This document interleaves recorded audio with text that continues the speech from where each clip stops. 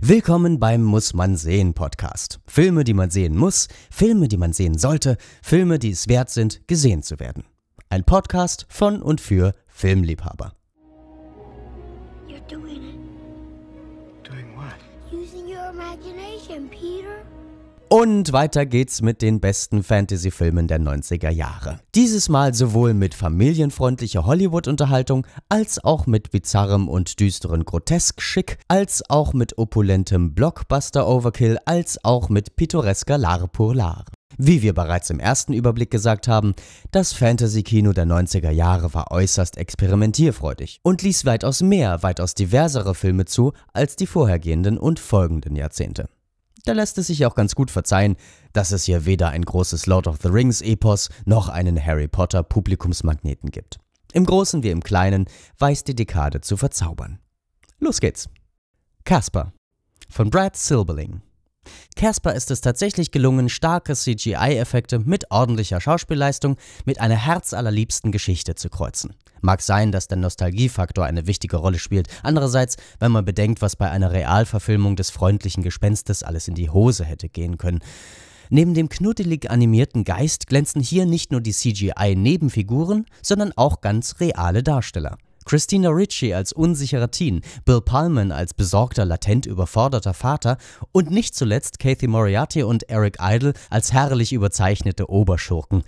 Casper bietet alles, was von gelungener Familienunterhaltung aus Hollywood erwartet werden darf. Auch in Real und CGI macht der freundliche Geist eine durch und durch überzeugende Figur. Die Stadt der verlorenen Kinder von Jean-Pierre Genet. Jean-Pierre Genet zum Zweiten. Dieses Mal ein wenig opulenter, ein wenig düsterer und alles in allem ein wenig größer als bei dem Meisterwerk Delikatessen. Das unheimliche Kuriositätenkabinett um die Entführung zahlloser Kinder in einer postapokalyptischen Hafenstadt ist mit Sicherheit nicht so gewitzt und durchdacht wie Delikatessen oder die fabelhafte Welt der Amelie, glänzt dafür aber mit anderen Vorzügen. Berauschende Bilder, prächtige und morbide Kulissen, überbordend kreative Einfälle, groteske Szenarien und eine ganz eigene, überschwängliche Ästhetik, die sich irgendwo zwischen Gothic Novel, apokalyptischen Horror und kindlich naiven Märchen einordnet. Der Indianer im Küchenschrank von Frank Oz. Vom Düsteren zum Bezaubernden. Einer der schönsten Kinder- und Märchenfilme der 90er Jahre ist Der Indianer im Küchenschrank von niemand Geringerem als Yoda und Miss Piggy-Schöpfer Frank Oz. Die Geschichte um einen kleinen Jungen, dessen Spielfiguren auf magische Weise zum Leben erwachen, steckt voller Herzenswärme und ist ein passionierter Lobgesang auf die kindliche Fantasie. Und das Besondere? Trotz ihrer einfachen und kindlichen Sichtweise läuft die Geschichte nie Gefahr, naiv oder kitschig zu werden. Ganz im Gegenteil, dem Indianer im Küchenschrank gelingt etwas, was die meisten Kinderfilme aus den USA vermissen lassen. Er nimmt sich, seine Protagonisten und sein Sujet ernst. Dragonheart von Rob Cohen. Ja, ja, da ist Rob Cohens Dragonheart schon eine ganz andere Baustelle. Opulente Fantasy-Unterhaltung der Marke Hollywood. Groß, bombastisch, pathetisch und nicht zuletzt schweineteuer. Trotz seines nicht zu verleugnenden Big-Budget-Ursprungs und seiner traumfabrikschen Formelhaftigkeit gehört die fantastische Geschichte um die Freundschaft zwischen einem Drachen und einem Drachenjäger zu den besten Fantasy-Epen der 90er. Das liegt vor allem an seinem dicken Augenzwinkern. Dennis Quaid als sarkastischer und egozentrischer Drachenjäger, ein bestens aufgelegter Sean Connery, der dem im Mittelpunkt stehenden CGI-Drachen Mimik und Stimme leiht, sowie eine intelligente Geschichte, die auf gewitzte Weise das Ende einer fantastischen Ära reflektiert.